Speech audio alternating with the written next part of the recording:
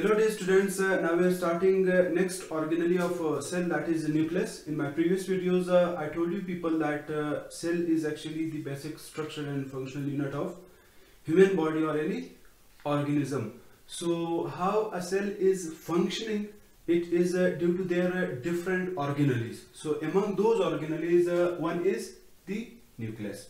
So what is nucleus? What are their different compositions? Or in other words what is it made up of? Or their relevant structures? What are different functions of nucleus? And in other words we can say that uh, what are multinucleated cells what are mononucleated cells or anucleated cells? These will be some of the topics which will be covered in this video. So let's start. What is nucleus? Nucleus is the membrane bounded cellular organelle so this is actually the basic uh, definition of nucleus that is nucleus is the membrane bonded cellular organelle what do you mean by membrane bonded? What are cellular organelles? I have been uh, teaching you people these uh, topics uh, in my videos. So you better know that what are different organelles and of course among those organelles uh, one is the nucleus. So this is uh, the structure of a uh, we can say typical cell. This is its uh, plasma membrane. In most cases be very clear about this idea. In most cases the nucleus is in the center of any cell.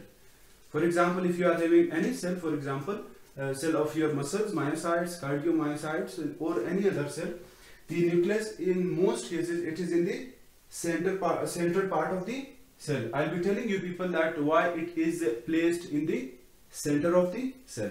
Anyhow, this is the plasma membrane. This is the cell of this. Uh, this is the nucleus of this specific cell. Now, as per the definition of uh, nucleus, nucleus is membrane bonded cellular organelle. This is the membrane of nucleus.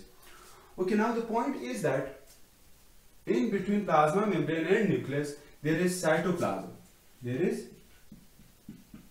cytoplasm. There are different other organelles such as for example mitochondrion endoplasmic reticulum rough and smooth Golgi apparatus or Golgi sacs or bodies ribosomes microtubules and so on okay now the point is that this cell is possess possessing or it's having different organelles. Uh, I told you in my, one of my videos that uh, our entire body is acting uh, as a system. Or in other words there are different uh, systems uh, in any body which are in coordination with each other. Now this is uh, in a sense one body. If you just take the example of protozoans that is euglena that is amoeba that is plasmodium and others paramecium. So these uh, unicellular cells are possessing only one cell. In that cell is by itself uh, we can say a single individual or a single body. So as there are different systems which are performing different functions in our body, same is the case with the cell.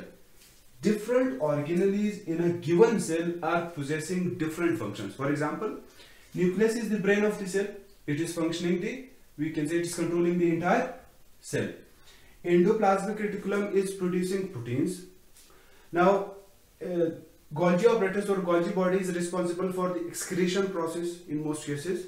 So they are uh, actually the excretory system of the cell. The outer layer that is the cell membrane is protecting the cell or in other words it is acting as the skin of our body. In the same way mitochondrion is responsible for cellular respiration so mitochondrion is actually the, we can say respiratory system of the cell. So be very clear that like in our body, in our body, there are different systems which are possessing different functions. Same is the case with the cell. Cells are possessing different organelles and organelle uh, is uh, actually pertaining to tiny, we can say organ or body. So these are tiny organs of this cell and they are controlling different functions. So now uh, let's come back towards our topic. Nucleus is one of the membrane bonded cellular organelles which is placed in most cases in the center of the nucleus. Why nucleus is placed uh, in the center of the uh, we can say cell? The reason is that this organelle is we can say equally important for endoplasmic reticulum, for mitochondrion, for ribosomes, for Golgi apparatus and other organelles. So it must possess a site or we can say a position which can be approachable to entire organelles. So for that reason it is placed in the center of the cell. Anyhow, so nucleus is actually one of the membrane bonded organelles. Now the point is that what is the structure of nucleus? What is the structure of nucleus? But before that uh, we are using some terms like multi nucleated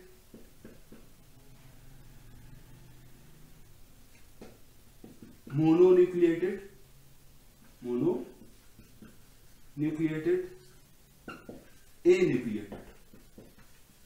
These are some of the terms which are used uh, uh, we can say in this topic that is the topic of nucleus so what do you mean by multinucleated? Multinucleated uh, cells are those cells which are possessing more than one nucleus. Uh, in most cases uh, a cell is possessing a single we can say nucleus.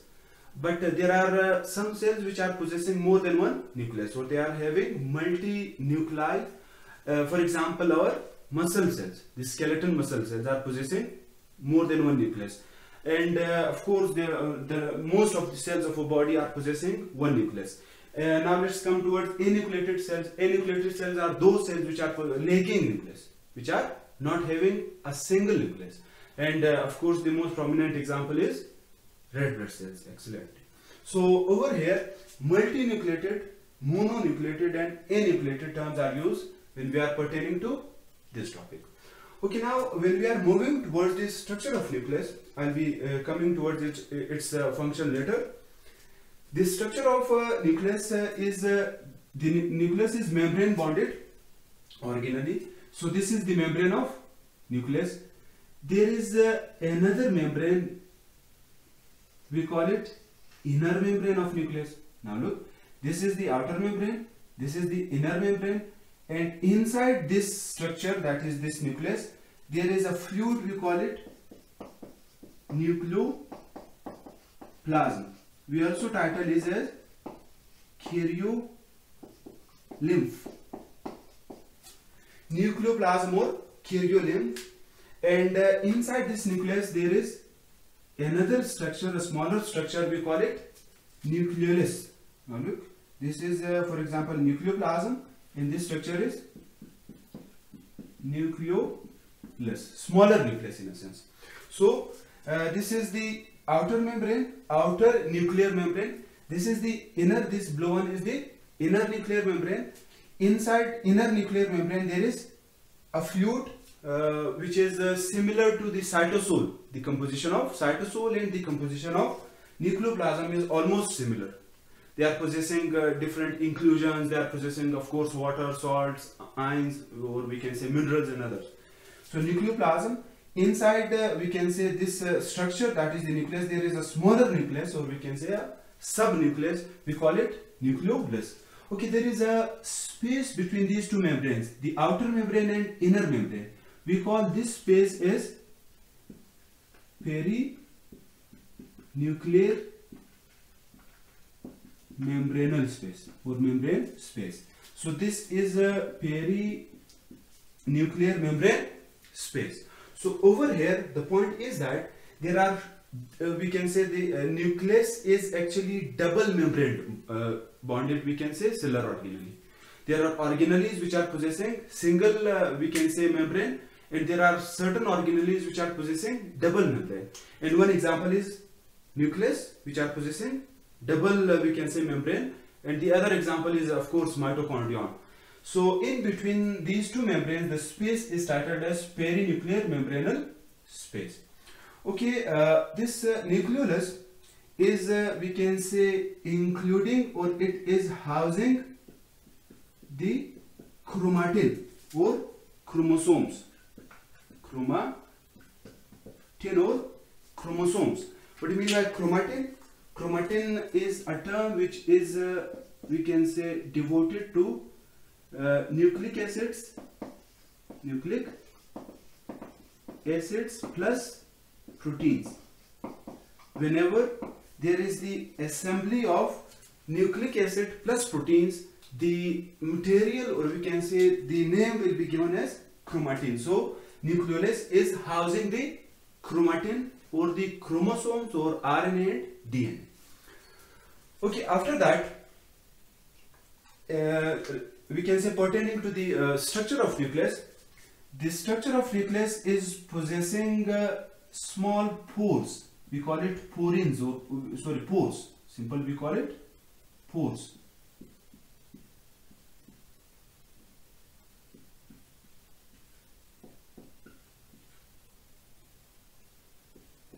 We call these pores as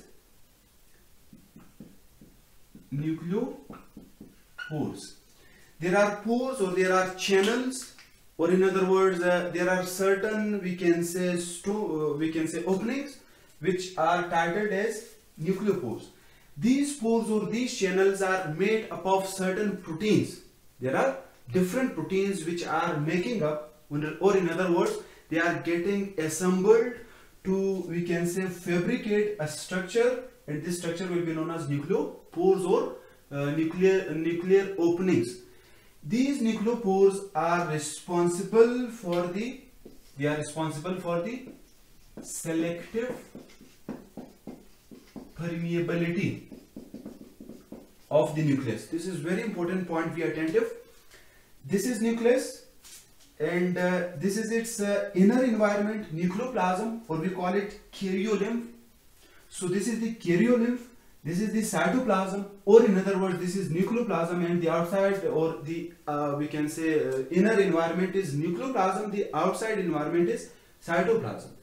So in order to differentiate between these two uh, we can say environments Allah Almighty has provided uh, the nucleus uh, with we can say certain protective mechanisms or structures or they are actually differentiating these two environments. The reason is if this structure that is the nucleoplasm and cytoplasm are getting mixed there will be the unnecessary we can say outflow of genetic material towards the cytoplasm and there are certain enzymes which are destructing nucleic acids so in order to protect uh, the nucleic acids from nucleases or other uh, we can say enzymes responsible for their destructions, there are certain pores. These pores will we can say uh, allow some of the uh, molecules and they'll just restrict others.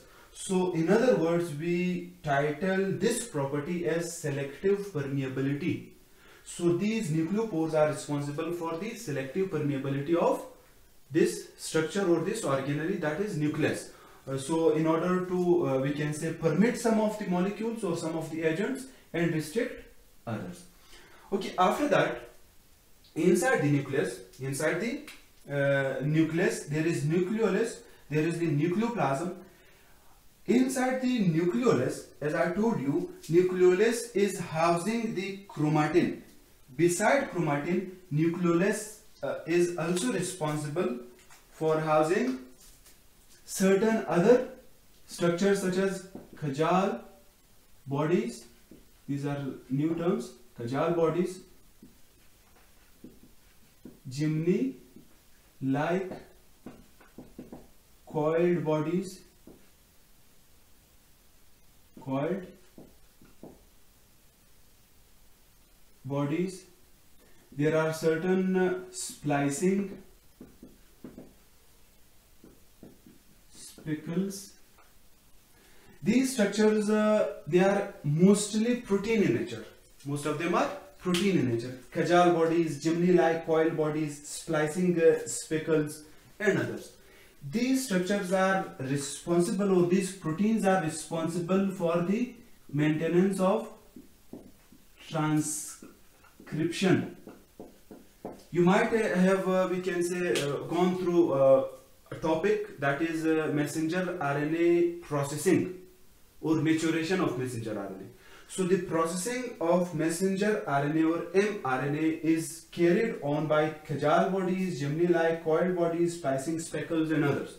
So these structures are also included inside the nucleolus.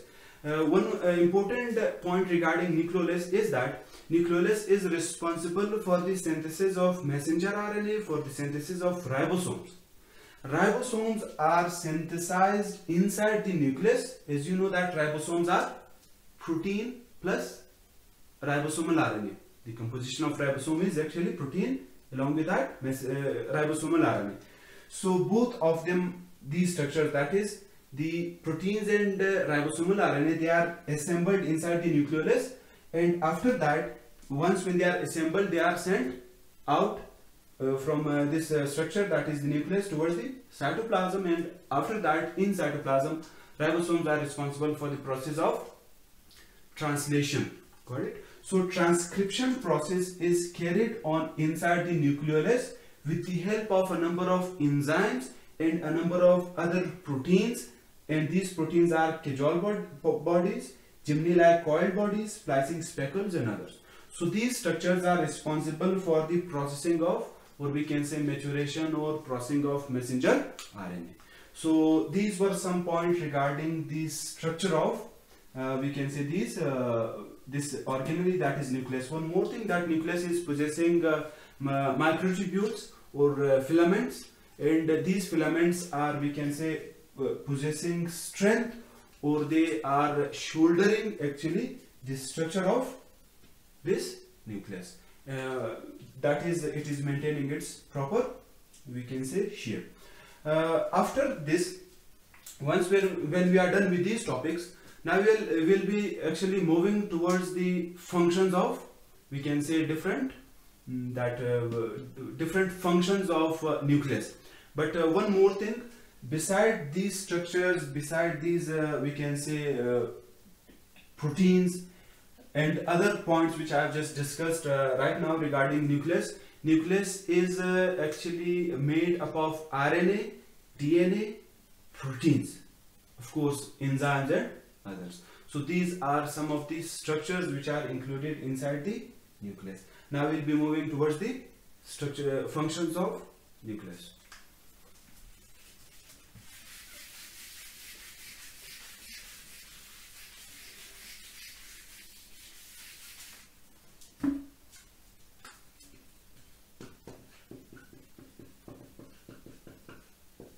different functions of nucleus okay uh, let me tell you one thing that uh, right from intermediate uh, right from uh, we can say your previous uh, classes professional first and second professionals you might have uh, studied that nucleus is responsible for a number of functions. These functions are quite we can say they are most of the time we are encountering these functions in our lower classes. So you won't be that much we can say confused in these functions so I'll be telling you people one by one and uh, note it down and after that you can just find more data regarding these functions. Okay, what are the different functions of nucleus? First function is housing nucleic acids. This is the very first function of uh, nucleus. Nucleus is responsible for housing or for providing space for nucleic acids. And you know that nucleic acids are actually biomolecules or macromolecules uh, which are DNA plus RNA. So in, inside the cell there are actually two types of uh, nucleic uh, inside the cell there are two types of you can say DNA uh, that is uh, one is intranuclear DNA one is extranuclear DNA extranuclear DNA is uh, housing is it's actually housed inside the mitochondrion and intra we can say DNA, intranuclear DNA is housed of course in the nucleus. So inside the nucleus, DNA plus RNA is actually housed. This is one of the most important functions of nucleus. Uh, along with that, uh, I told you in my uh, a few minutes back that uh, chromatin chromatin is that material which is made up of DNA plus proteins chromatin is uh, of course inside the nucleus and in chromatin we are having euchromatin chroma and there is another heterochromatin. Euchromatin means true chromatin. that chromatin which is not supercoiled. DNA is coiled and supercoiled. So that portion of DNA which is less coiled is known as euchromatin and that portion of DNA which is more coiled is heterochromatin. And genes or proteins which are made from DNA is actually from the part of euchromatin. Uh, heterochromatin is possessing uh, we can say less genes or they are uh, not frequently we can say translated the this part is not frequently translated. Anyhow so the first function of nucleus is housing nucleic acids or housing chromatin that is euchromatin plus heterochromatin next function and uh, I told you that uh, this is the nucleus. Inside the nucleus there is nucleolus and this nucleolus is possessing DNA plus RNA that is nucleic acid. Okay next uh, function synthesis uh, the process of transcription. This is quite important function of nucleus.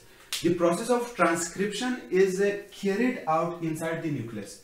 And you know what you mean by transcription? Transcription is the process of formation of messenger RNA from a given portion or part or fragment of DNA and of course that messenger RNA will be responsible for the synthesis of proteins.